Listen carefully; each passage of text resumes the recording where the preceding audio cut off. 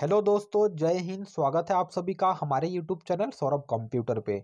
आज के वीडियो में हम बात करने वाले हैं एसएससी सीएचएसएल की जो वैकेंसी आई है उसके बारे में। जी हाँ फ्रेंड्स इस वैकेंसी का ऑफिशियल नोटिफिकेशन 6 दिसंबर को आ चुका है।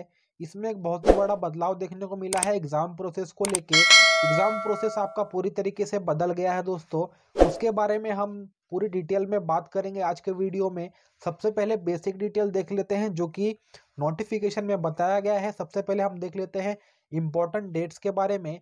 तो आपके जो ऑनलाइन फॉर्म है, वो 6 दिसंबर से भराने चालू हो चुके हैं, जिसकी लास्ट डेट रहने वाली है 4 जनवरी 2023 इसके बाद अगर आपका फॉर्म में कुछ गलत हो जाता है, आपको कुछ करेक्शन करना है, संशोधन करना है तो आप 9 से 10 जनवरी के बीच में कर सकते हैं। आपकी जो एग्ज़ाम है फेब्रुवरी मार्च में होगी। इसके बाद बात करेंगे सैलरी के बारे में, आपकी सैलरी क्या रहती है इसमें? तो लोअर डिवीज़न क्लर्क और जूनियर सेक्रेटरी असिस्टेंट के लिए इसमें सैलरी रहती है उन्नीस हज़ार नौ सौ से लेकर तिरसठ हज़ार दो सौ रुपये तक। फिर डाटा एंट्री ऑपरेटर के लिए अगर आप अप्लाई कर रहे हैं तो आपकी जो सैलरी रहेगी वो उनतीस हज़ार दो सौ से लेके बानवे हज़ार तीन सौ रुपये तक रहने वाली है। आगे चलते हैं और देखते हैं इसमें कुल कितने पदों के लिए वैकेंसी है। तो मैं आपको बता दूँ, टोटल चार हज़ार पाँच सौ पदों के लिए आपकी वैकेंसी है। बहुत ही अच्छी वैकेंसी है दोस्तों, आप सभी को इसमें फॉर्म अप्लाई करना है फीमेल के लिए। तो बहुत ही अच्छी वैकेंसी है, उनको तो ज़रूर अप्लाई करना है दोस्तों। आगे बढ़ेंगे यहाँ पे आप देख सकते हैं किस किस डिपार्टमेंट के लिए वैकेंसी आई हुई है। तो आपकी जो वैकेंसी है data entry operator lower division clerk junior secretary assistant postal assistant इन पदों पर वैकेंसी आई हुई है फ्रेंड्स आगे चलते हैं।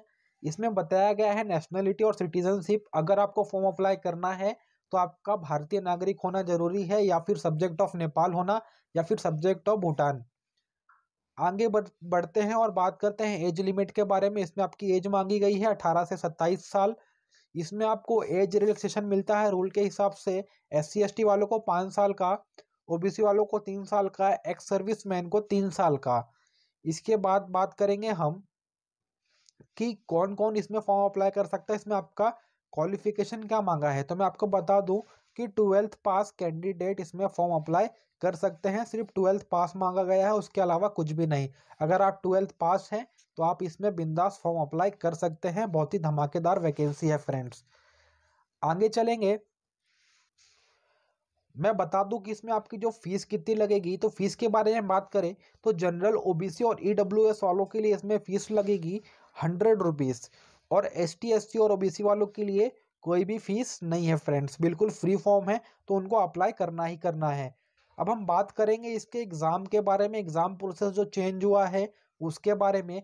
सबसे पहले आप देख लीजिए scheme of tier one examination तो इसमें मैं आपको बता दूँ कि स्कीम में कोई भी चेंज नहीं हुआ है। आपका सब्जेक्ट वही है नंबर ऑफ़ क्वेश्चन वही है।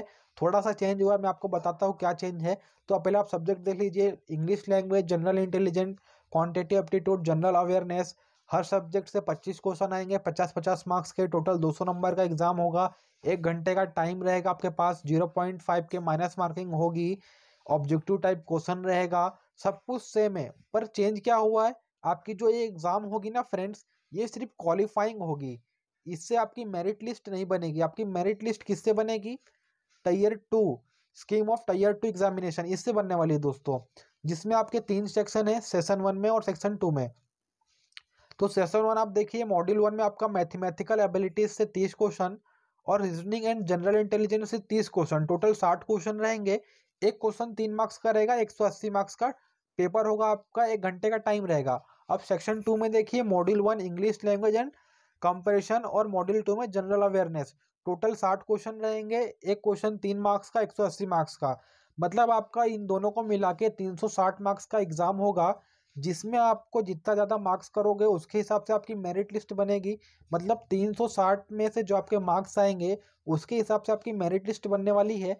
सेक्शन थ्री की बात करें फ्रेंड्स तो सेक्शन थ्री में आपका क्वालिफाइंग होगा ओनली इसमें आपका कंप्यूटर मतलब टाइपिंग टेस्ट और स्किल टेस्ट होगा, जिसमें आपका मॉड्यूल वन में कंप्यूटर नॉलेज मॉड्यूल ये आपका नया आया है, ये अब हर बार आपको आएगा, जो भी गवर्नमेंट जॉब आएगी उसमें। क्योंकि अभी आने लग गया है, आपका स्किल टेस्ट होगा, टाइपिंग टेस्ट होगा, ये सारी चीज़ें होगी, ये क्वालिफाइंग होगी, अगर आप इसको क्वालिफाई नहीं करोगे तो आप बाहर हो जाओगे।